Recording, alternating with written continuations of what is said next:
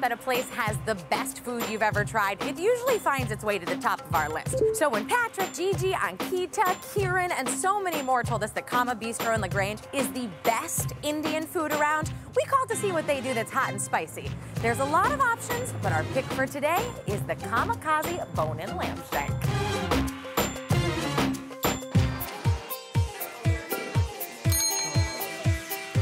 Martin said that you guys have the best Indian food this side of the Atlantic. We are what we call a sucker for punishment. We like to do that hard thing. We do not like to take shortcuts. Everything in the restaurant is made from scratch. We buy over 1,400 pounds of fresh tomatoes a week because we do not use cans in this restaurant.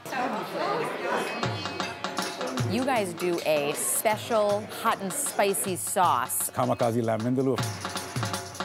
Instead of just putting traditional Indian chilies into it, we are actually adding ghost pepper. It can really spike it up. The lamb vindaloo is my favorite of the vindaloo. You have to build up to that kind of heat. That's pretty hot, I'm afraid. I like spicy though. But it's not only about heat. In our lamb shank, we use about 10 to 12 different spices. And the lamb shank is off the bone, melts in your mouth. You can tell it's been marinated for a long time. Just delicious. It's pretty amazing the flavors you get from these foods. Very flavorful, very intense. And when you put that heat on, it just, it's out of the way. Every time you say ghost peppers, I'm having flashbacks to the quadruple X wing challenge.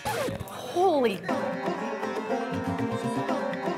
So the first step in making the lamb shank is to sear it, which you already did. Now it's time to braise. Yes, we are going to prepare a braising liquid. It's the cumin seeds. The oil is hot, so put them in. Onion, add some red chili. It is Kashmiri red chilies. These are native to India. They're known for the color they give to a sauce. Smells so good. Let's put the homemade yogurt in there. All right. I also just want to point out, guys, this is just the braising liquid. This is a lot of labor-intensive work Yes. for one dish. Our homemade lamb stock. We're going to add the lamb shanks in. Oh, it's time. Okay.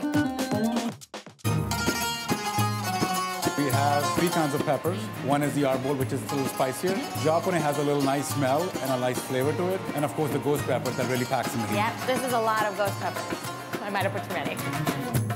I'm already smelling the heat. Yeah, it is. Woo.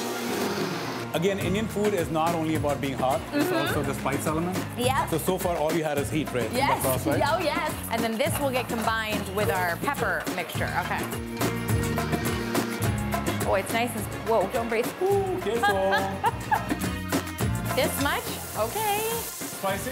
Yes, a little spicy. Indian food is all about sauce. Sauce is king in Indian food. We have added the red chilies, Yes. so now it's hot. Mm Mhm, It's definitely hot. We're gonna add some coconut milk. Okay. So just to kind of give you that little sweetness. So we are truly hot and spicy. Hot and spicy in one dish.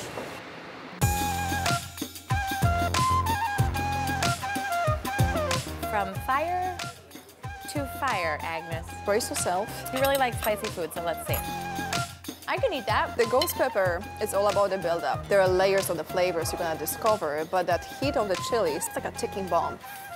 There's no fire. Bomb went off, I think. It's definitely hot. It is like an eight or a nine, but it still tastes good. The lamb shines through, but it does have some sweetness to it. And then you also get those flavors that you expect from Indian food. Keep discovering them as you eat more and more with that hint of the cinnamon or the nutmeg. And then there's a cardamom. I just love Indian food, especially for these layers. So it's not just heat, it's the flavor. We stand up definitely for love, passion, desire. If you want to share some love, just come in and try it out. Cheers to the Cheers to meaning that. of Kama Thank you. and some delicious hot food.